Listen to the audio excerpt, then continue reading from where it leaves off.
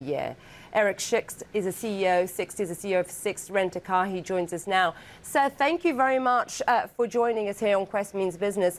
I was looking at one of your uh, news releases online, and it's uh, and it's clear from what I saw that what your company has gone through, like so many companies, I may add, have really suffered dramatic losses in particularly in the first and second quarter we're not out of the pandemic and there's still so much uncertainty. So where do you see the next quarter? What is your plan, sir? Uh, first, uh, thank you for uh, having me in your uh, talk. Um, well, uh, I tell you, uh, we are at the end of the tunnel.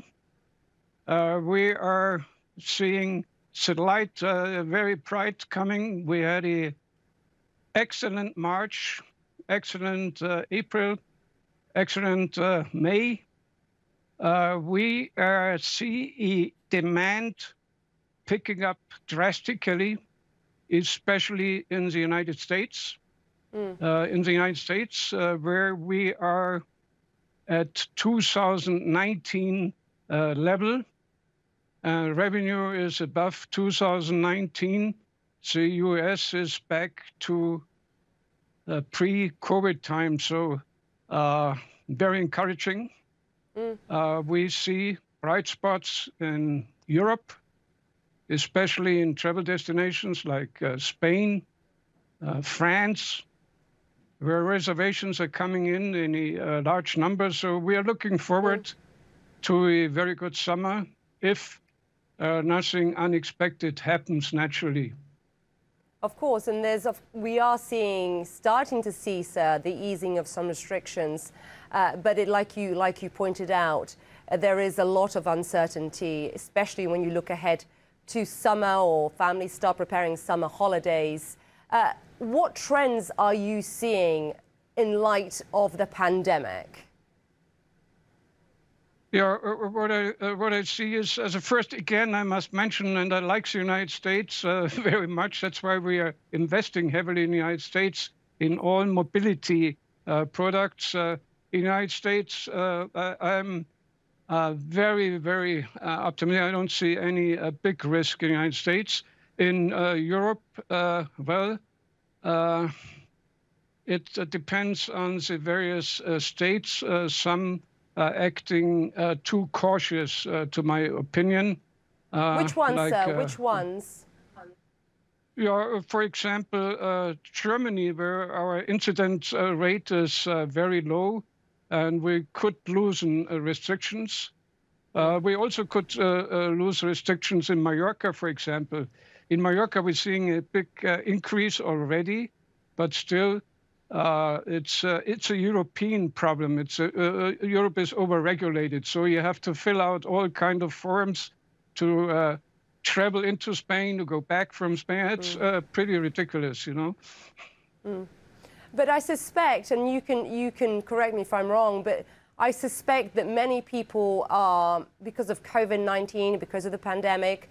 One, they are reluctant to make large investments such as buying a car, so they probably hire your vehicles. People perhaps don't want to get public transport, so probably they rent a car as well. Are these some of the trends that you are seeing in light of, of the pandemic?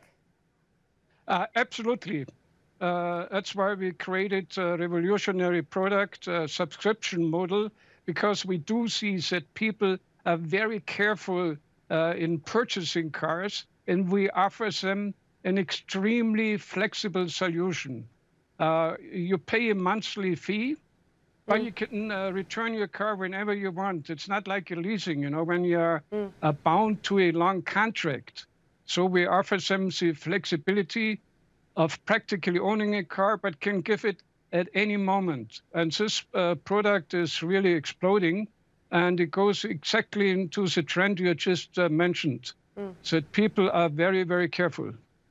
Yeah, very cautious, of course, given the fact that there's so many variants and so much uncertainty. Mr. Sixt, you know, you've been, I don't know if our viewers will know this, but you've been some at the helm of the company for some 50 years. Uh, and I believe that you're stepping down this month. You have transformed the business from a Munich-based family with the car rental business to, to really a global business. How do you feel, and what advice do you have for your sons, who I believe are taking over the reins? Well, uh, look, I'm uh, uh, partly stepping back. Uh, I'm, I'm, I'm, still chairman of the board, but chairman of the non-executive board uh, tomorrow. Uh, we have our general assembly. yes, the advice I can give to them is very simple. I survived, in my 50 years, I survived around seven heavy crises. And I tell you, every crisis is a big opportunity and so you should never be worried. Uh, uh, it's survival of the fittest. And we, we used the opportunity in investing heavily in building uh, new products like Sixt Plus, car sharing, etc. And uh, uh, now uh, we will benefit from the investment we did. We purchased in the United States in midst the heavy crisis. Then everybody looked like it's hopeless. we purchased 10 airport concession major airports with 3.4 billion revenue potential.